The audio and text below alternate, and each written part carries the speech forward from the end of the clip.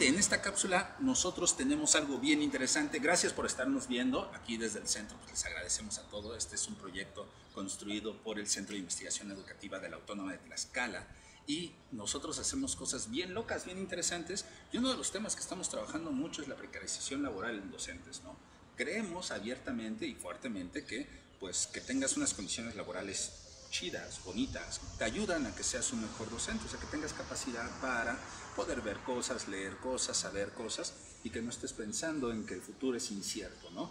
Y para hablar de este tema, pues traje a mi colega, amigo Ernesto, que va a estar platicando conmigo sobre este tema de la precarización laboral y pues sus impactos en la educación, porque créame, si usted nos está viendo y sus hijos están en alguna escuela y esos chavitos tienen maestros que no tienen condiciones laborales chidas, créanme, créanme cuando se los digo que posiblemente su educación no vaya a ser tan, tan impactante, ¿vale? Pero para eso tengo a Ernesto el día de hoy. Ernesto, ¿cómo estás el día de hoy? Hola Daniel, un gusto estar aquí. Muy bien. Eh. A mí me da mucho gusto que hayas venido y bueno, el tema ya está abierto, ¿no? Es precarización laboral en docentes. Tú, desde la sociología, que eres sociólogo e historiador, ¿cómo ves este problema? Pues un problema que no es nuevo, ¿no? tendríamos que empezar a, a, pensarlo como algo, precisamente un fenómeno histórico, ¿no? que, ya tiene como 40 años más o menos, desde que lo que se llamó el estado del bienestar, políticas públicas de, de protección a los derechos eh, laborales y demás, pues ha ido deteriorando como progresivamente, negativamente para, para el tema de los trabajadores, no solo en el mundo escolar, sino también pues en todo el, mundo, el mercado laboral se ha ido cada vez más precarizando, ¿no? precisamente, que consiste en, en la pérdida de derechos eh, sociales, laborales, profesionales. Eh, ¿Y esto por qué pasa? Bueno, pues porque hay intereses, que, que mm, paradigmas políticos que llamamos neoliberalismo, eh, que bueno, pues se prescinde de, de, las, de, las, políticas públicas como prioridad y eso al final va, pues perjudica a los, a los, profesores en este caso, ¿no? que cada vez pues tienen menos condiciones laborales, ni, pensemos en jubilaciones. Entonces es todo un fenómeno complejo, muy preocupante, porque no es fácil saber la solución que tiene esto, ¿no? Entonces ahorita podemos indagar un poquitín ahí qué podríamos hacer, porque eh, pues sí, es, preocupante, ¿no? Como, como, bien dices, pues un profesor que, que, está estresado, que no, que no tiene una perspectiva salarial, que los contratos son eh, una incertidumbre tremenda, ¿no? Pues un profesor llega a clase con pocas ganas de, motivar a sus alumnos, de, disfrutar su, tarea, ¿no? O sea, hay contratos eh, pues que son por hora, ¿no? Que llaman prestación de servicios, ¿no? Que es una cosa que, no es ya ese, ese, prestigio de profesor, eres profesor, que con, tu plaza, que ese, ese valor que tiene social, pues ahora es un prestador de servicios que que puede ser como, no sé, con todo mi respeto, es un mesero, ¿no? Lo que sea, ya es una categoría profesional muy eh, precarizada, ¿no?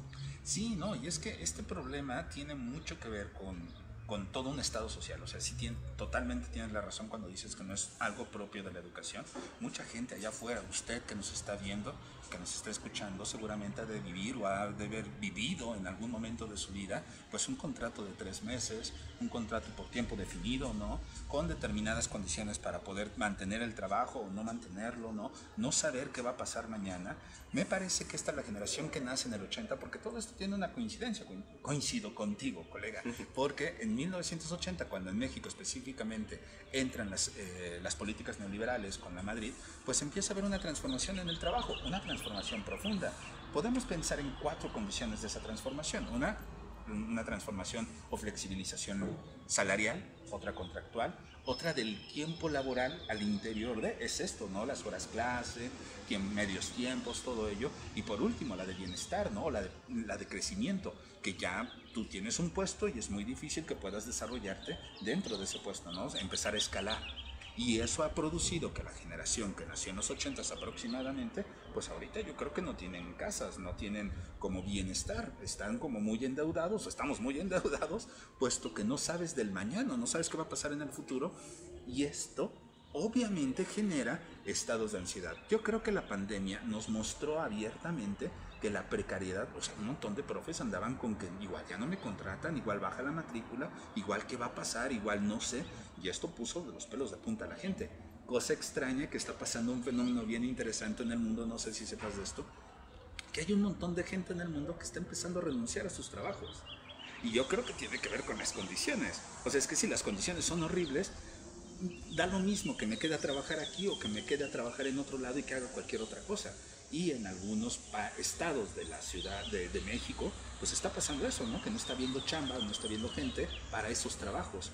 Y creo mucho que tiene que ver con esta precariedad laboral. Si tú no aseguras el trabajo fuera de que seas docente, ¿no? En cualquier trabajo, pues a la gente igual no le dan ganas, ¿no?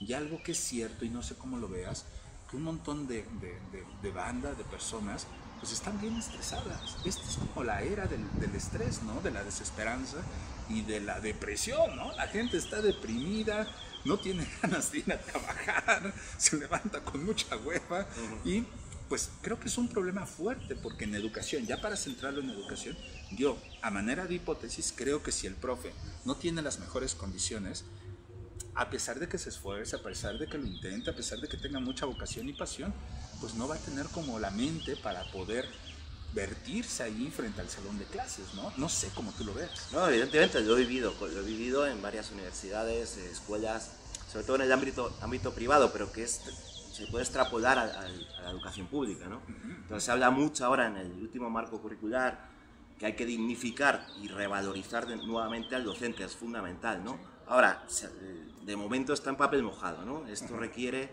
de una acción colectiva, es decir, los contratos colectivos, que es una de las herramientas de protección al trabajador, pues no, finalmente no se traducen en acciones políticas ni en...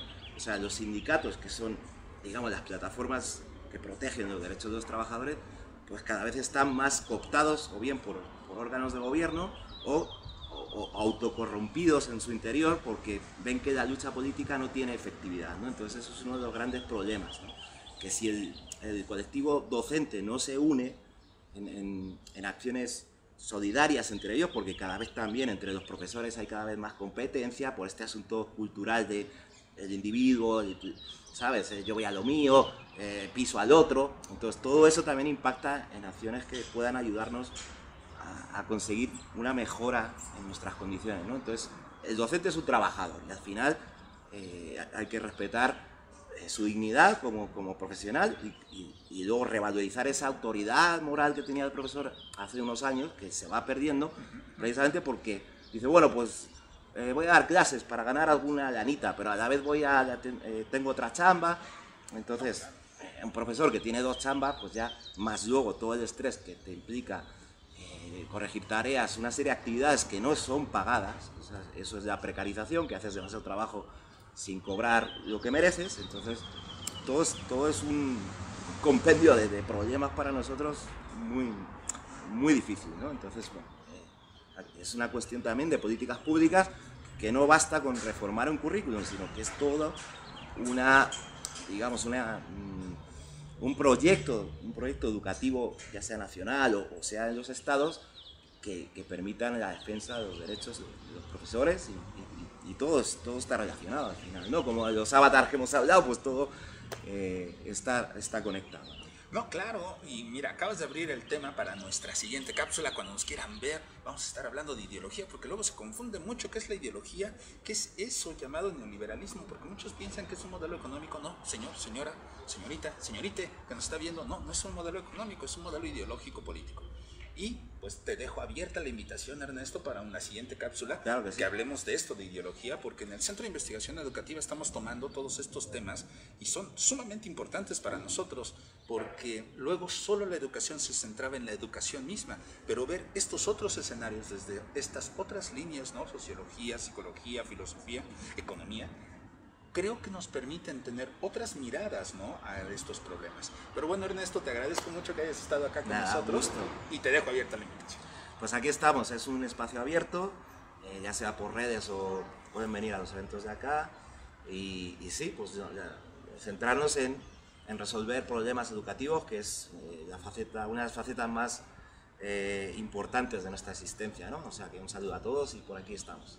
Muchas gracias, gracias Ernesto, gracias gente. Y nosotros continuamos con las cápsulas.